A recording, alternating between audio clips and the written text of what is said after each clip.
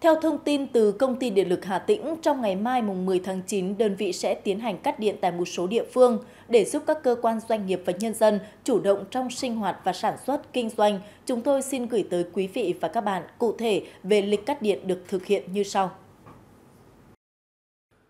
Điện lực Cẩm Xuyên sẽ cắt điện để thay sứ chuỗi, nên khu vực xã Cẩm Trung và xã Cẩm Lĩnh sẽ bị mất điện từ 6 giờ đến 7 giờ sáng. Điện lực Lộc Hà sẽ cắt điện để thay thế hệ thống đinh xà phụ kiện kém chất lượng, nên một số địa bàn ở xã Thịnh Lộc sẽ mất điện từ 7 giờ sáng đến 11 giờ trưa.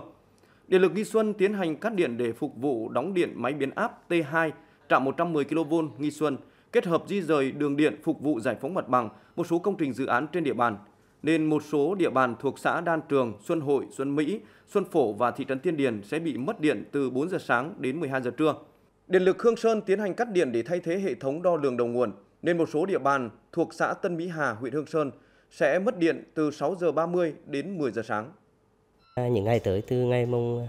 10 đến ngày 15 thì công ty đã có kế hoạch cắt điện và cũng là đã thông báo trên các cái trang thông tin điện tử của của công ty điện lực Hà Tĩnh nhằm người dân cũng có thể là cập nhật được cả cái tình hình cắt điện trong cái uh, trong cái thời gian tới về phía công ty cũng đã chỉ đạo đơn vị điện lực cũng như là các cái đơn vị thi công là bám sát cái các cái phương án tổ chức thi công để đảm bảo an toàn